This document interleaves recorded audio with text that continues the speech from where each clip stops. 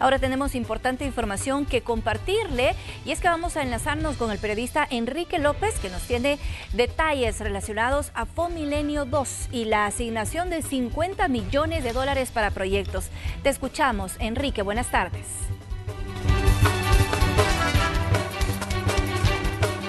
Así es, compañeros, buenas tardes. Es que la fecha límite para la aprobación de la contrapartida para Fumilenio 2 es este próximo 7 de diciembre.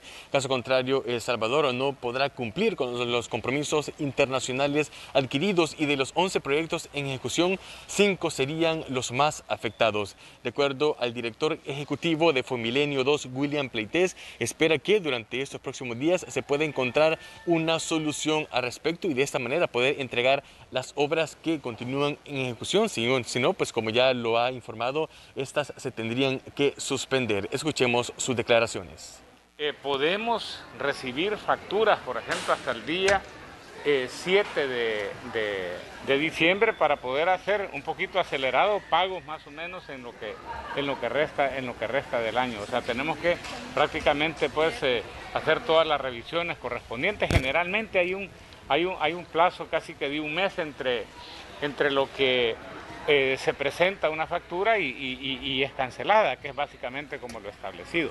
Por eso es de que nosotros hemos planteado que el 7 de diciembre para nosotros es una, es una fecha límite para poder en realidad seguir de acuerdo al ministro de Hacienda Alejandro Zelaya, esta vez el balón se encuentra en el territorio de la Asamblea Legislativa, ya que ellos tendrían que aprobar el dictamen favorable de la Comisión de Hacienda, el dictamen 372. Además, hace un llamado a los parlamentarios a convocar una sesión extraordinaria para este fin de semana y de esta manera eh, aprobar los fondos, los 50 millones de dólares para Fumilenio 2. Escuchemos a continuación buscando una sesión plenaria extraordinaria, la fecha fatal es el 7 de diciembre, yo espero que tomen conciencia, pero que sobre todo los salvadoreños estén enterados de en manos de quién está la decisión y en este caso es de los señores diputados. Así que nosotros hemos hecho todo lo, que nos corresponde como ejecutivo y, pues nada, queda en manos de ellos, yo voy a seguir buscando que exista una, dos sesiones plenarias, porque no,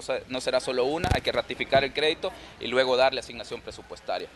Hay que recordar que la Asamblea Legislativa hizo una modificación al decreto 640 para la asignación de estos 50 millones para Fumilenio 12. Sin embargo, el presidente de la, República no lo sancionó, ya que, según el titular de Hacienda, estos fondos ya tienen un destino. Ante esto, eh, la diputada Yancy Urbina del partido FMLN hizo fuertes señalamientos al decir de que posiblemente se estaría ante un caso de malversación de fondos. ¿Qué ha dicho el ministro de Hacienda respecto? Escuchemos.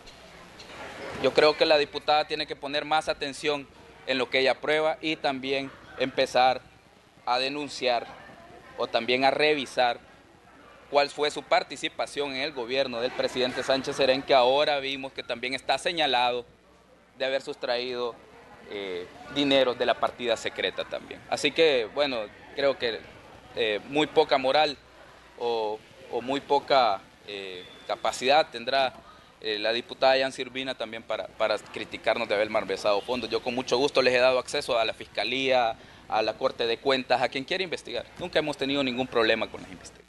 Compañeros y amigos televidentes, esta es parte de la información que tengo para ustedes. Más detalles en la emisión de Hechos Estelar. Por el momento regreso a la señal al set principal de Noticiero Hechos. Gracias, Enrique. Feliz tarde para ti.